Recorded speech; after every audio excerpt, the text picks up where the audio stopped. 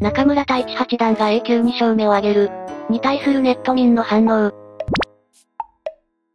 太一おめ。太一やったね。いよいよ A 級誰が高級するかわからんくなってきたぞ太一やるやん面白い将棋だった。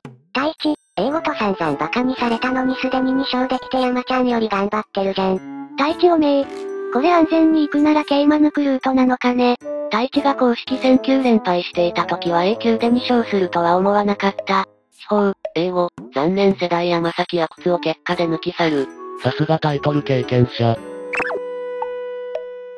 次の稲葉に勝てればだいぶ残留に近づくな。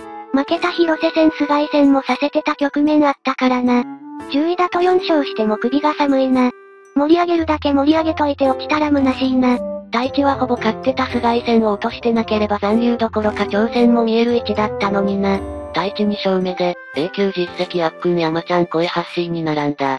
そもそもタイトル1期挑戦3回の時点で余裕で上。この中継の UI なんとかならんの藤井特需で儲かってるんだろもっと予算出してやれよ。何も儲かっとらんだろ何言ってるの？朝日の YouTube は手作り感満載で少しずつ改善されてるのがええんやぞ。名人挑戦は豊島か菅井か。A でこれできるなら底力はやっぱりあるね。的絞って読み入れたら強いんだよ。残留争いが混沌としてきた。名人挑戦しつつ竜王戦6組が見たいぞ。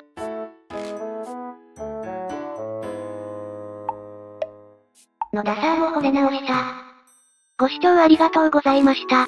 高評価、チャンネル登録をよろしくお願いいたします。